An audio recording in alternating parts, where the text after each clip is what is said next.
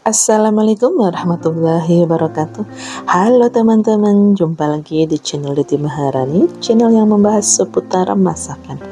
Nah kali ini saya baru saja selesai memasak pesmol ikan kakap Yang tentunya rasanya enak, menarik dilihat Dan pastinya kalau sudah nyobain pasti bakal ketagihan.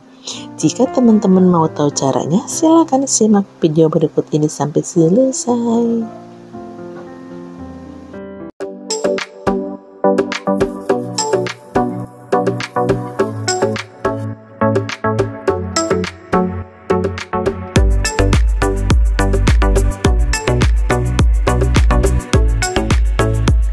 Pertama-tama kita siapkan dulu bahan-bahannya. Di sini saya sudah menyiapkan ikan kakap seberat 500 gram dan ini ikannya udah saya cuci bersih dan udah saya buang ya angsangnya teman-teman dalamannya pun dan udah saya belah-belah ya dagingnya. Sekarang akan saya marinasi dulu dengan jeruk lemon ya, secukupnya saja supaya mengurangi bau amis. Nah, sekarang udah saya balurin, sekarang akan saya cuci bersih ya. Ini ikannya yang udah saya cuci bersih, sekarang saya marinasi dengan bawang putih yang udah saya parut sebanyak 2 siung, setengah sendok teh garam, dan dimarinasi sampai benar-benar tercampur merata supaya tujuannya lebih harum lagi teman-teman Sekarang akan saya sisihkan terlebih dahulu.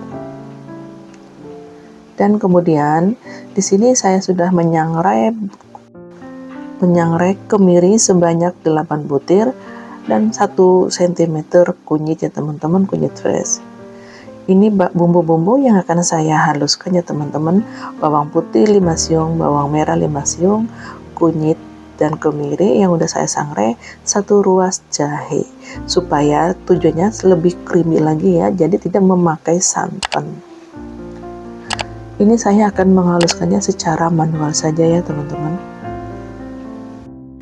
Nah teman-teman ini hasilnya bumbunya ya yang udah saya haluskan secara manual jika kalian punya chopper boleh pakai chopper ataupun blender ya dan kemudian di sini saya sudah menyiapkan bumbu-bumbu cemplungnya ya teman-teman. Satu batang serai yang sudah saya mamarkan, satu ruas lengkuas yang sudah saya mamarkan, tiga lembar daun salam, tiga lembar daun jeruk.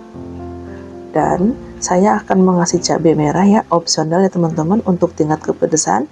Saya memakai sebanyak 6 buah. Sekarang akan saya potong serong saja ya.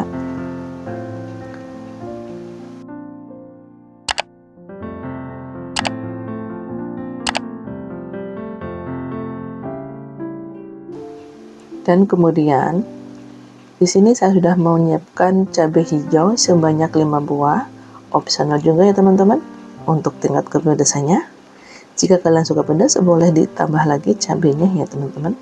Atau menggunakan cabai domba. Dan 4 batang bawang daun sekarang akan saya potong-potong juga ya. Ukurannya sesuai saja ya teman-teman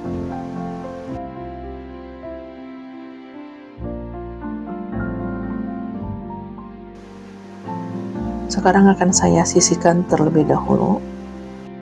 Langsung saja ya teman-teman, di sini saya sudah memanaskan minyak. Sekarang akan saya goreng ikannya terlebih dahulu. Dan sambil disiram-siram minyaknya ya teman-teman, supaya matangnya merata.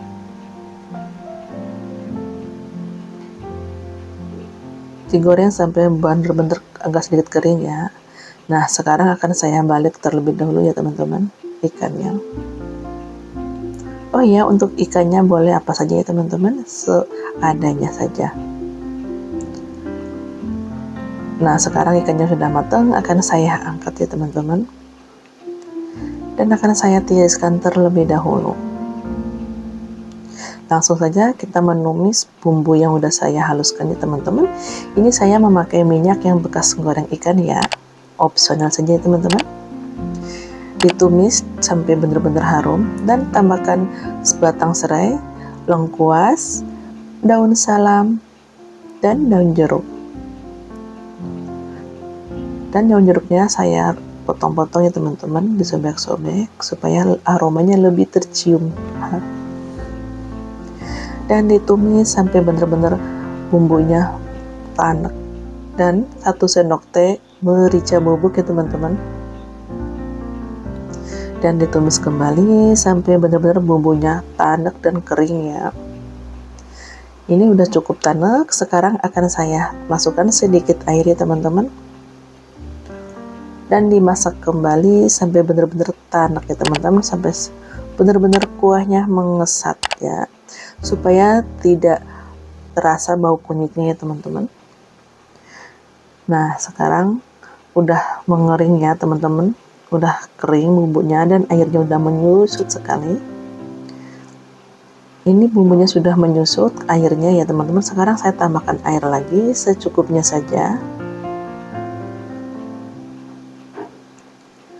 Jika kalian mau banyak kuahnya boleh ya teman-teman. Sekarang saya tambahkan satu sendok teh kaldu jamur atau chicken powder.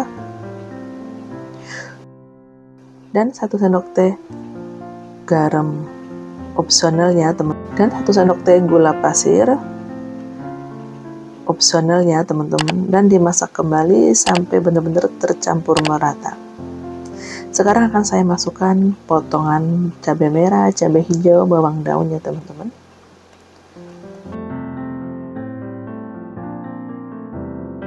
Dan diaduk kembali sampai tercampur merata.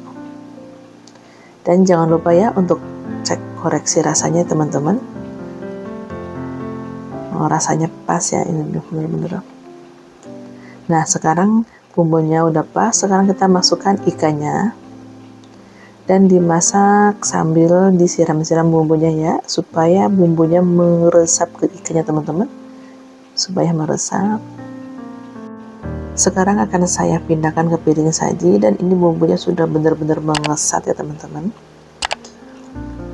Bismillahirrahmanirrahim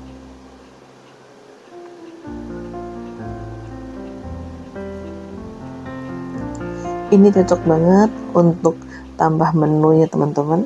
Tanpa harus beli di luar ya jadi kita bisa memasaknya sendiri. Pokoknya bisa dijadikan untuk ide usaha ya teman-teman. Kalian wajib mencoba dong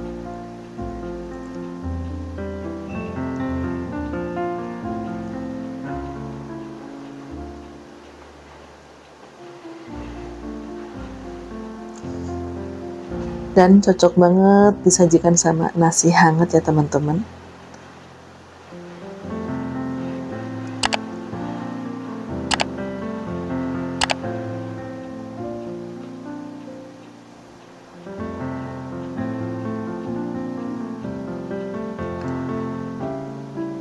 Sekarang akan saya icip ya. Bismillahirrahmanirrahim Hmm, mantep banget. Rasanya pas, manis, pedas, gurih, pokoknya creamy sekali teman-teman. Oke teman-teman, seperti itulah resep besmol ikan kakap yang dapat saya bagikan untuk saat ini. Semoga bermanfaat dan selamat mencoba. Dan jangan lupa untuk dukungannya dengan cara like, subscribe, dan share ya. Jika sudah, saya ucapkan terima kasih. Kurang lebihnya mohon dimaafkan dan saya akhiri. Wassalamualaikum warahmatullahi wabarakatuh. Dah.